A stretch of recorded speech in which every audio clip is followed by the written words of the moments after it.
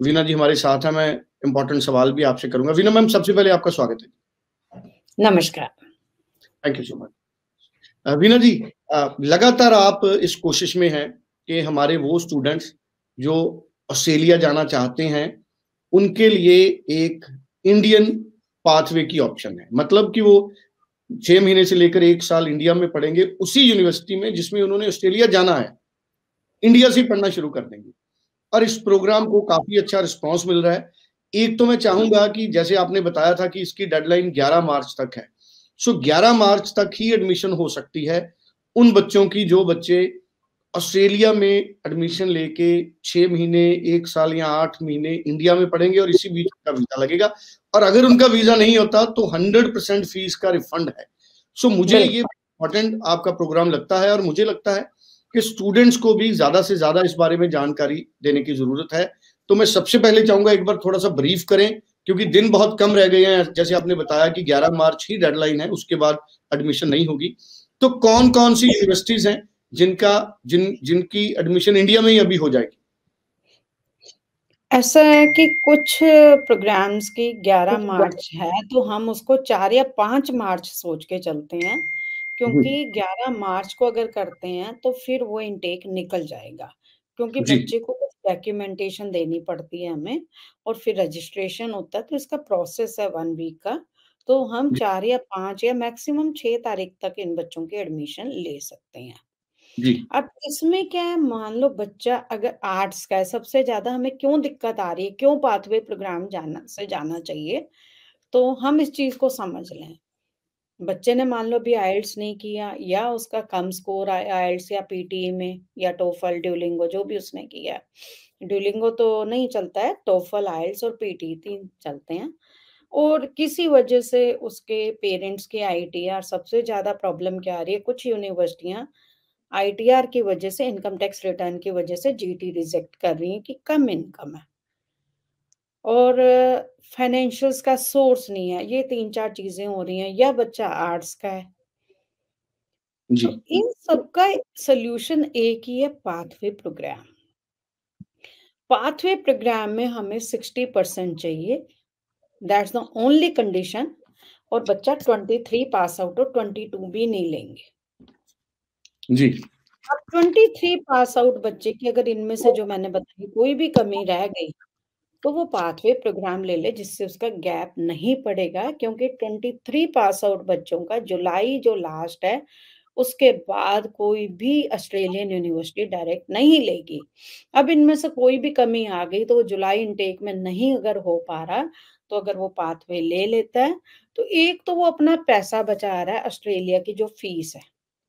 मान लीजिए वहाँ पे फ़ीस इसकी जो एक सेमेस्टर या दो सेमेस्टर यहाँ करना है डिपेंड ऑन द यूनिवर्सिटी तो वहाँ से ऑलमोस्ट ये हाफ़ फ़ीस बच्चा यहाँ देगा और वहाँ जाने के बाद भी जो पाथवे का स्टूडेंट है, क्योंकि ये ऑस्ट्रेलिया यूके यूएस तीनों के लिए चलते हैं तो जो पाथवे का स्टूडेंट है, वो वहाँ जाने के बाद भी फ़ीस कम ही देता है। पूरी फ़ीस नहीं है तो सबसे बड़ा बेनिफिट ये है सेकंड वो गैप नहीं पड़ रहा। थर्ड वो अपने घर में रह के अभी ऑनलाइन कर रहा है। तो वो अपने लिविंग एक्सपेंसेस भी बचा रहा है। ऑस्ट्रेलिया में अगर बच्चा ग्रेजुएशन के लिए जाता है थ्री इयर्स करता है तो टू इयर्स का पोस्ट स्टडी वर्क परमिट मिलता है। अब पोस्ट स्टडी वर्क परमिट की रिक्वायरमेंट टू इयर्स पढ़ना ज़रूरी होता है। तो यहाँ पढ़ के सेकेंड ईयर में जा रहा तो वो भी उसकी रिक्वायरमेंट पूरी हो गई लिविंग एक्सपेंसेस भी बचा लिए।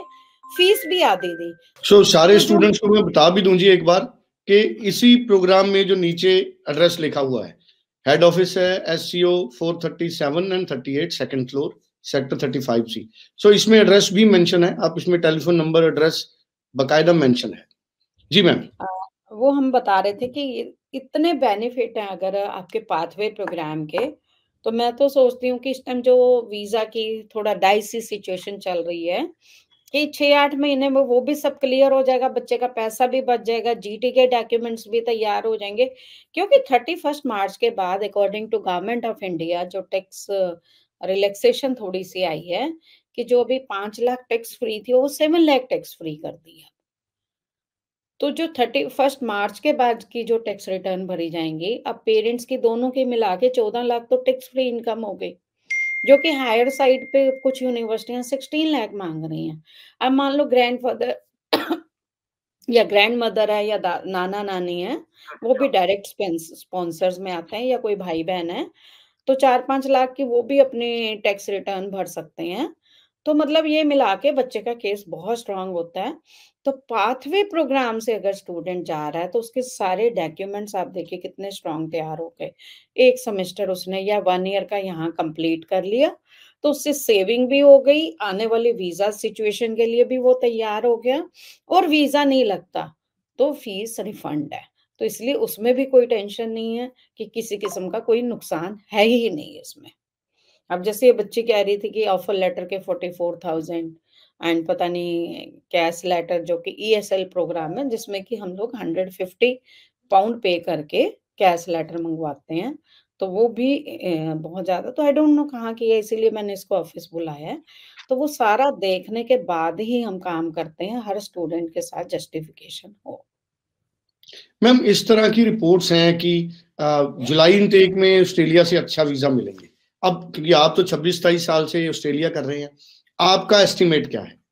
देखिए जी, अभी हाई कमीशन का बहुत प्रेशर हाई कमीशन पे बहुत प्रेशर पड़ा हुआ है, जो हमारी ऑस्ट्रेलियन एसोसिएशन की बॉडी है उनकी तरफ़ से भी मिनिस्टर्स को काफ़ी मेल्स, लेटर्स आ रहे हैं और यूनिवर्सिटीज़ का भी काफ़ी प्रेशर है। इस वजह से आप देखो इस समय वीज़ा रुके हुए हैं और यूनिवर्सिटीज़ ने सीओईज़ कैंसल कर दी हैं।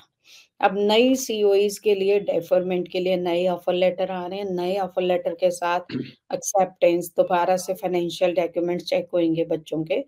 तो ब मतलब बच्चे का जो इतना टाइम वेस्ट हो रहा है, तो यूनिवर्सिटियों का बहुत आप देखो कितने मिलियन डॉलर्स के उनके इनकम है स्टूडेंट इंडस्ट्री से। और जिस इंडस्ट्री को वो खराब नहीं करना चाहते, बच्चे में कोई ऐसा डर नहीं पैदा करना चाहते, तो यूनिवर्सिटियों का भी प्रेशर है हाई कमीशन पे। तो अभी रुका हुआ है सिस्टम थोड़ा-सा, तो नेचुरल है कि जैसे ही थोड़ा ठीक-ठाक होगा, तो अब वीज़ा आने की हमें उम्मीद है जुलाई में, इस चीज़ में।